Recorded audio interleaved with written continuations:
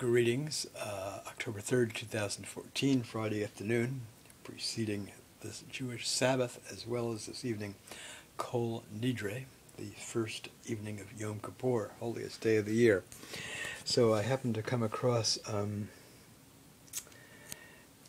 a um, photocopy store calendar I had made reproducing a pencil drawing I'd done of late survivor refugee, Holocaust refugee Alex Schwarz of Vienna, who uh, I knew along with his late wife, who was also a, survivor refugee named Trudi uh, in the 1990s in uh, Seattle when I worked at a library branch in the district where they lived called Magnolia.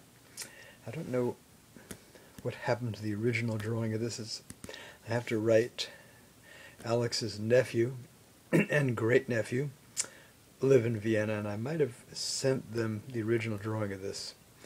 Uh, it's very similar in pose, almost identical, but it is different.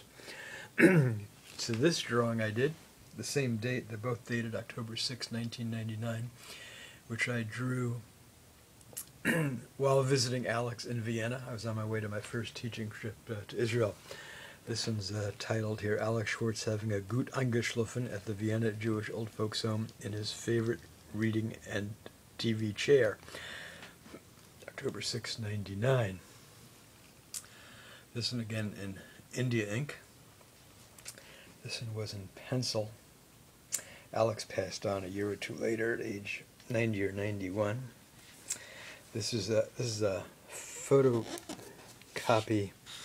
kind of reproduction detail of a section of a um, very large work I did, which is a video of uh, depicting from a photograph he gave me during that visit in Vienna of his first cousin Kamil Hahn of Telk or Tels, T-E-L-C, Czechoslovakia. I have to look up and see if that is now in either, if it's in the Slovak Republic or the Czech Republic, one or the other.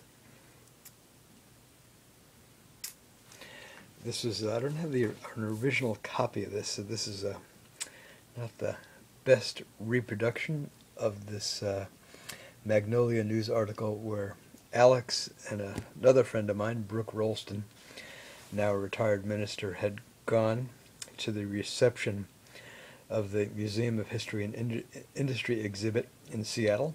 It was uh, dated October 5th, 1994 there was uh, photographs by this Nazi soldier Heinz Yost, or Yost, and there were seven drawings from my Under the Wings series there. Um, it's Alex on the left. Surrounded by two real memories, Holocaust survivor and Magnolia resident Alex Schwarz tells Brooke Ralston about his wartime experience in Poland. This isn't exactly correct, but reporters, well, they, they can no, they mix up things. Photos are part of a photography exhibit at the Museum of History and Industry on the Warsaw Ghetto, which includes pen and ink drawings by Magnolia Library clerk Akiva Segan. Show continues through November 13th. There are five known Holocaust survivors in the Magnolia and Queen Anne neighborhoods. Photo by Melissa Riesland. So, um, while Alex did not have wartime experience is in Poland, certainly the war in Poland were close to him because uh, his mother uh, was murdered at the Auschwitz-Birkenau uh, death camp complex. So anyway, there you have it, Alex Schwarz in Vienna. And a calendar reproduction of a different but similar stance, similar pose, uh, pencil sketch I had done of him, 1999. There you have it. Kamil Hahn, his first cousin, also murdered by the Nazis.